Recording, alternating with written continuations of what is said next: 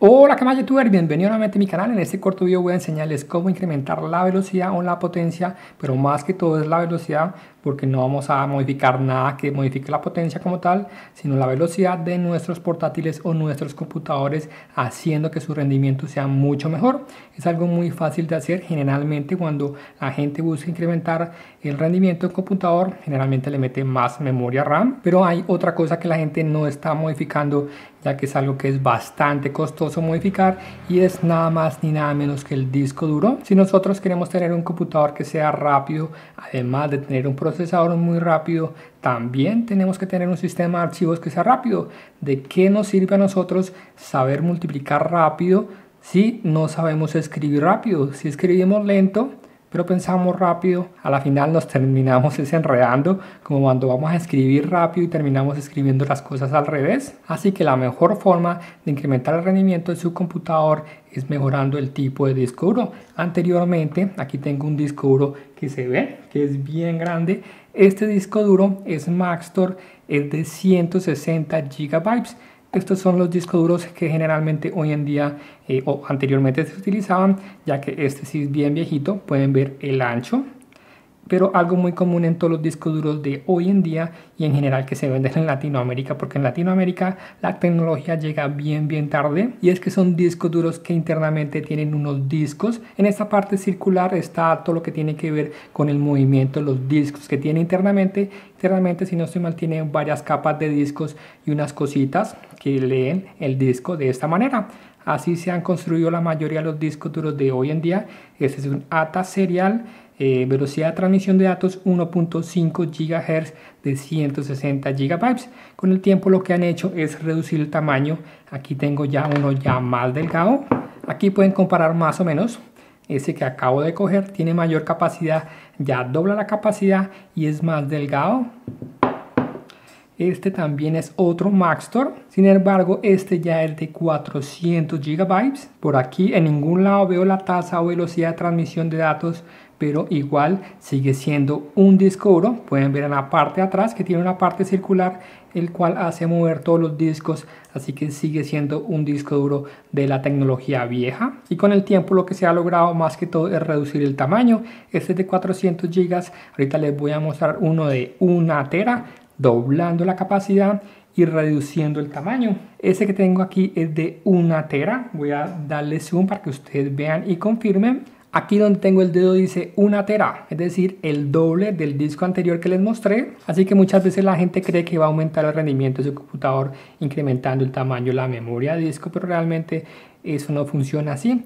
Si queremos mejorar el rendimiento de nuestro computador, otra de las formas de hacerlo, además de comprar pues una board nueva, más rápida, comprar más memoria RAM o un procesador diferente, es básicamente cambiando el tipo de discos duros que utilicemos y hay ya disponible una tecnología que no es nueva. Lo que pasa es que a Latinoamérica las cosas llegan tarde y se llaman los discos duros de estado sólido ese que tengo aquí en mis manos también pueden ver que tiene como el circulito en la parte de atrás, es decir, también es un disco duro con partes móviles, aunque muy seguramente sea más rápido que los anteriores y lo podemos comprobar si lo miramos aquí diagonal. El tipo de conector es diferente, utiliza un conector tipo SATA, esto es básicamente un bus eh, serial que es más rápido el bus anterior que se utilizaba. Así que si queremos la máxima velocidad y hacer que nuestro computador mejore su rendimiento, vamos a utilizar este otro tipo de disco que acabo de comprar. Esta tecnología es la más costosa hasta el momento, se llama SSD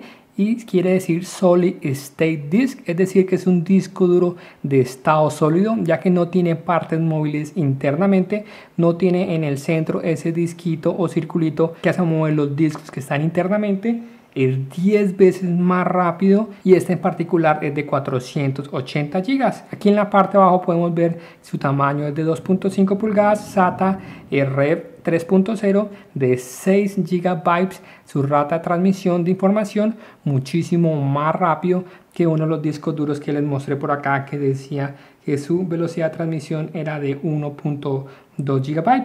Esta es una de las últimas versiones V400, así que esto va a hacer que mi computador mejore su rendimiento bastante, ya que la comunicación entre los datos todo lo que está guardado en el disco duro y el procesador se va a hacer de una manera mucho más rápido y se los voy a mostrar aquí. Voy a hacer una prueba prendiendo mi portátil con el disco duro que ya tiene puesto simplemente mirar a ver cuánto se demora en encender el computador y luego al ponerle este otro disco duro que básicamente le voy a poner el disco duro y le instalaré el Windows y miraremos el tiempo en el cual prenda o encienda o arranque Windows y eso nos podrá dar una idea de la mejora que vamos a tener ya que todo se deberá ejecutar muchísimo más rápido. Cualquier aplicación que yo quiera abrir se va a abrir más rápido ya que el procesador tiene acceso a los datos de una manera más rápida. El disco duro le va a entregar más rápidamente los datos. Así que el procedimiento de instalación del disco duro pues no se lo voy a mostrar. Eso ya lo pueden encontrar en cualquier otro video. Es Básicamente esto es un disco duro, simplemente voy a sacar el disco duro de mi portátil, le meto el nuevo disco duro y aquí en esta memoria USB. Tengo el instalador de Windows. Ya los instaladores de Windows lo podemos conseguir en una memoria USB. Simplemente arranco y boteo mi portátil con esta memoria USB que tiene el instalador de Windows y listo. Hoy en día esto es tan fácil que cualquiera lo puede hacer. Así que comencemos por bootear mi computador y miremos a ver cuánto tiempo se está demorando en encender. Bueno, antes de arrancar mi portátil, eh, otra cosa que quería comentarles es que si ustedes se preguntan por qué los computadores de Apple arrancan tan rápido, muchas de las veces cuando vamos a una tienda Apple, lo primero que nos dicen, y mire, mire cómo arranca rápido el sistema operativo, eso nunca lo van a ver en cualquier computador. Y esas otras las razones por las cuales los computadores de Apple son muchísimo más costosos y es porque tienen sistemas de unidad de almacenamiento o discos duros de estos, que son discos duros de estado sólido.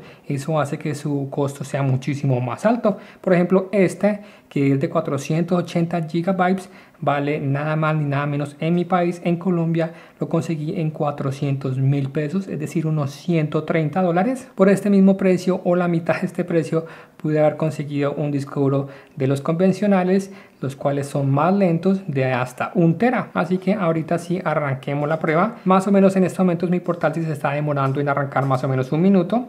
Así que voy a estar aquí y arrancar el temporizador.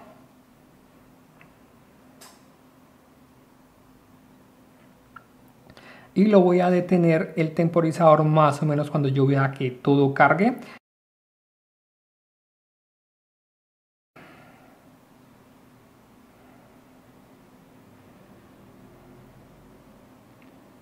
Cuando yo vea que todos los iconos arranquen y deje de estar como moviéndose el mouse, que generalmente se pone a moverse como el circulito, ahí es donde voy a detener el temporizador y luego hacer la prueba ya con el nuevo disco duro que es de estado sólido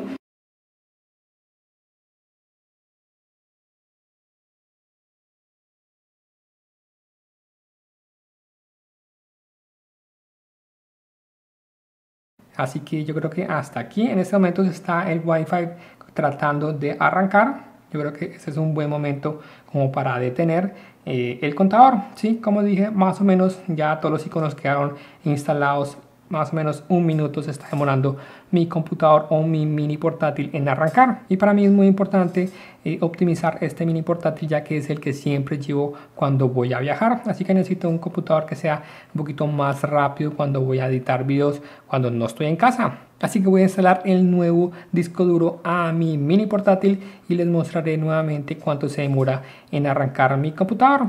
Bueno, ya acabé de reinstalar el Windows. Obviamente un computador después de que le instalemos nuevamente el Windows pues va a ser un poquito más rápido, pero no va a tener el rendimiento que van a ver ustedes en este momento. Así que aquí tengo el disco duro que tenía anteriormente.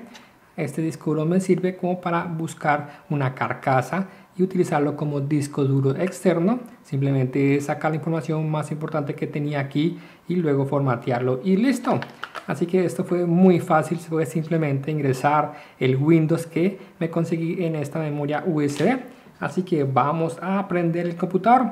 Recuerden que antes se demoró más o menos un minuto. Así que miremos a ver qué tanto se va a demorar mi portátil en arrancar después de cambiar el disco duro por uno de estado sólido. Entonces simultáneamente tin y tin. Vamos a ver qué tanto se demora.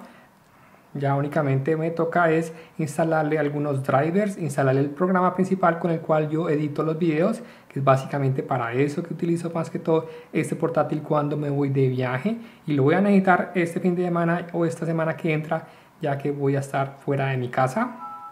Y listo, ya acabó de arrancar, parémoslo aquí, 24 segundos, 24 segundos contra un minuto, eso es una mejora, no sé si matemáticamente esté yo errado, una mejora de más o menos 300% únicamente en el arranque, sin tener en cuenta lo demás. Así que aquí únicamente midiendo el tiempo arranque, pues no creo que influya mucho las diferencias con el otro disco duro, el cual estaba yo utilizando. Esto me va a permitir tener mayores rendimientos en mi computador. Espero les haya gustado el video, no olviden darle manito arriba, compartirlo en sus redes sociales, obviamente hacer una mejora de meterle a un portátil un disco duro de estado sólido es costoso, es verdad, pero nada es gratis en esta vida. Aumentar el rendimiento del computador requiere obviamente meterle un poquito más de plata. Like, like, like. Hasta la próxima y muchas gracias.